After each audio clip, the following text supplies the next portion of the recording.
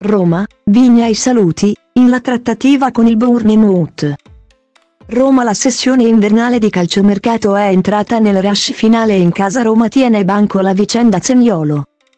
Con l'apertura del Milan al fantasista che ha deciso di non rinnovare il contratto, in scadenza nel 2024, e si è praticamente messo da solo nella lista dei partenti. Chance in Premier League una lista in cui figurano però già altri giallorossi.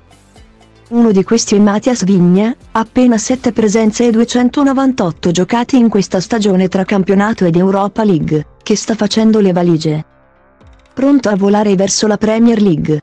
In chiusura infatti l'operazione che porterà il 25enne terzino uruguaiano al Bournemouth.